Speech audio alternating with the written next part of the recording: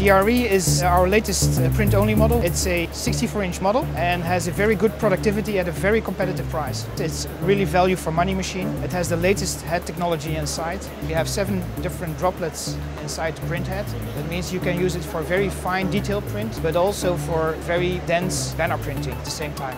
It offers a double CMYK print layout. That means even in very high print speed, it offers a very stable quality.